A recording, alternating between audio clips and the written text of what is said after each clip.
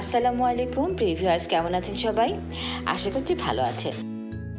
আজকে আমি আপনাদের জন্য নিয়ে এসেছি টক ঝাল মিষ্টি আম ভর্তা।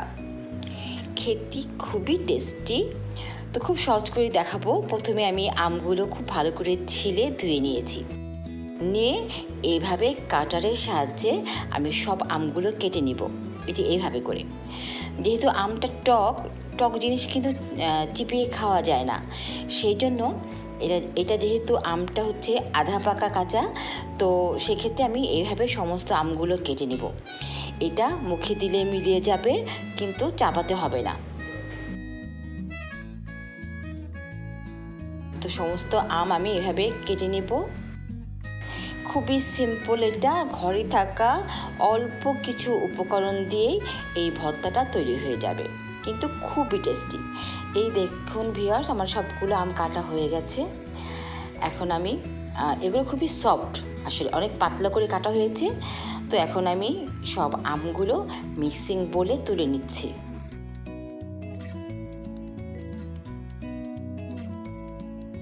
দিয়ে দিচ্ছি স্বাদ মতো লবণ। আর দিচ্ছি আমি চিনি। এখানে আমি তিন চা চামচ চিনি দিয়েছি।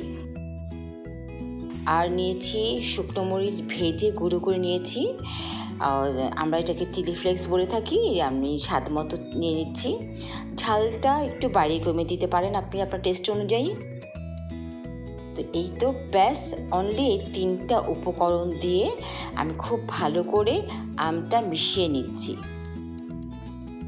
এত অল্প উপকরণে এত ঝটপট একটা আম ভর্তা যে এত টেস্টি হয়, প্রিয় ভিউয়ার্স আপনারা একটিবার বানিয়ে খেলেই বুঝতে পারবেন।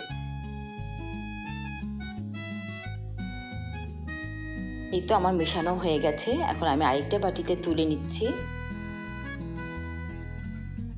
এই আম ভর্তাটার টেস্টটা আসবে কিছুটা টক, কিছুটা মিষ্টি, কিছুটা ঝাল। এই ভ্যাবসা গরমে এই আম ভর্তাটা করে খেয়ে দেখবেন, কতটা ভালো লাগে। মুখে টেস্ট লাগে, রুচি আসে, শরীরটা ঠান্ডা হয়ে যায়। আর আমরা তো জানি টক কাঁচা আম, টক এখানে ভিটামিন সি রয়েছে।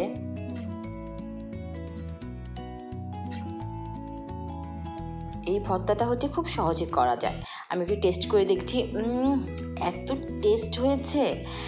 আপনাদের কাছে রিকোয়েস্ট থাকল ভিউয়ার্স একটিবার এই সহজ আম ভর্তাটা বাড়িতে বানিয়ে খাবেন এবং কেমন লাগল অবশ্যই আমাকে কমেন্টস করে জানাবেন।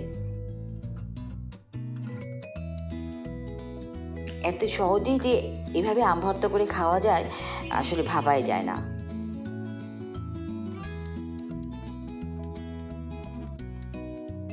এভাবে আপনারা আম, আমের দিনে আম, আর যখন আমরা আমরা ওইভাবে ভর্তা করে খাওয়া যায়। প্রসেসিং একটাই জাস্ট কাটা দিয়ে ওইভাবে পাতলা পাতলা করে কেটে ভর্তা বানিয়ে খাওয়া যাবে। তা আশা করছি আজকে আমার এই ঝটপট টক মিষ্টি ঝাল আম ভর্তাটা ভালো লেগেছে আপনাদের। ভালো লেগে থাকলে অবশ্যই আমাকে কমেন্টস করে জানাবেন।